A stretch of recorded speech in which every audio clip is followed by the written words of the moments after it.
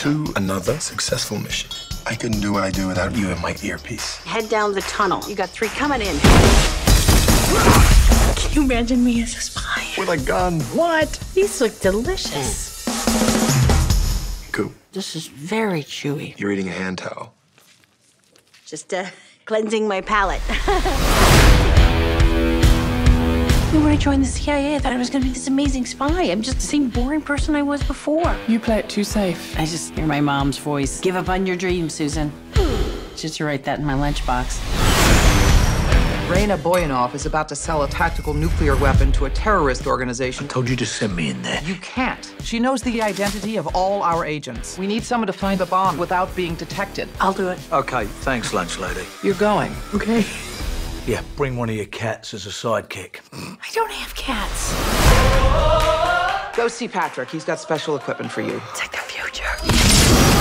You're a spy. I know. You'll be given a new identity. Oh. Cat lady. Just missing a shirt that says I've never felt the touch of a man.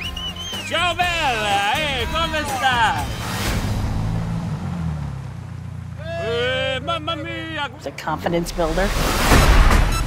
You really think you're ready for the field? Leave the action to me. Damn it! Who puts a roof on a scooter? What are you, the Pope? You are not to make direct contact with any of the targets. You are incredibly out of your league. It's not fair. Oh,